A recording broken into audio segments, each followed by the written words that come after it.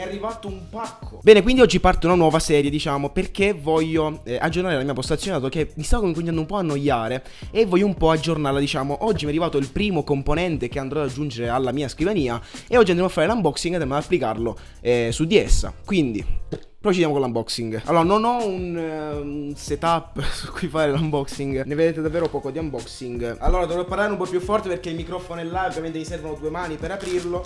Ma ed eccole qua. Logitech MX Sound. Sono delle casse eh, della Logitech Che hanno il Bluetooth eh, Hanno un design bellissimo Minimalista, molto bello Ok, l'abbiamo capito. E l'ho presa principalmente perché erano in offerta Da 90 euro a 50 euro Mi ho detto ma che... Ah no scusate, no non erano in offerta. Le ho prese usate su Warehouse Deals E infatti sono un po' preoccupato per vedere come andrà a finire. Ok, così dovreste vedere un po' meglio. Comunque questo qua Il cavo di alimentazione Anch'esso grigio opaco. Abbiamo la prima cassa che ora però spostiamo. Un cavo jack to jack e l'altra cassa. E ora il, arriva la parte in cui dovrò montarle. Anzi prima ve le faccio vedere. Le vedo anche io dato che sono la prima volta che vedo, vedo queste casse dal vivo. Wow wow!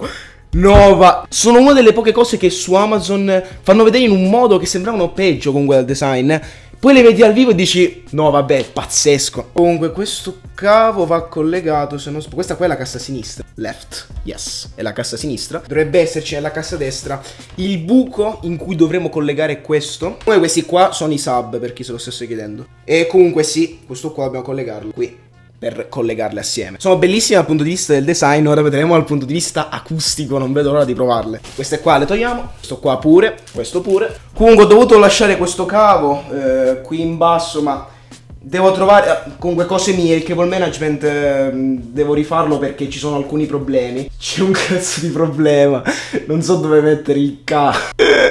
non c'entra da nessuna parte, ho tolto pure la luce qui, ma non c'entra, devo togliere questo. Devo staccare il modem, vaffanculo. Ciao modem.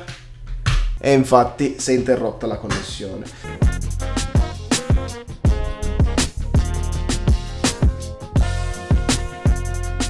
Ragazzi si sono accesi i led qui. Eh, Questo vuol dire che ok almeno, almeno si accendono. Complimenti. Comunque scherzavo il cavo jack ci serve perché dobbiamo collegarlo al computer tramite il jack Jamie E se mi è piaciuto fare sto giochettino qui guardate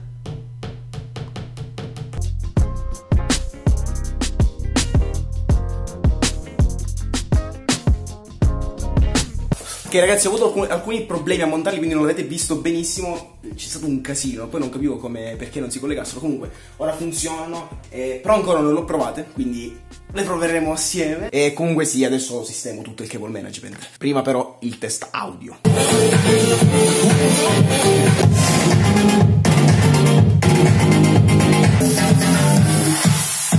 Devo dire che sono pazzesche. Preso sono ritornato dopo aver sistemato il cable management, ora è tutto a posto, come state vedendo dalle immagini, e vi, e vi dico anche un po' cosa ne penso di queste casse. E vi dico già che sono pazzesche. Per 50 euro, il prezzo a cui lo acquistate, sono forse le migliori casse che potete acquistare. Io l'ho trovato su Amazon Warehouse Deals a 47 euro, non so fare altro che consigliarvi questo servizio di Amazon, dato che eh, comunque le casse non hanno nessun difetto, quindi è come se fossero nuove, eh, però lo pagate 40 euro in meno, quindi benissimo. Quindi parlando della resa acustica, anche lì non c'è nulla da dire. Che forse per 90 euro non è la migliore eh, qualità audio che potete avere, ma per 50, sì, per 50 sono veramente dei best buy. Vi parlando della tecnologia Easy Switch. Quando voi siete sul computer e premete play sulla musica, partirà dal computer. Quando siete al telefono, perché sì, si possono collegare via Bluetooth, dato che sono delle, eh, anche delle casse Bluetooth, premete play e partiranno dal telefono, si interromperanno nel computer. E questo è anche molto comodo. Ah, e non vi ho parlato della cosa, una delle cose più importanti per cui l'ho preso, ovvero il design il design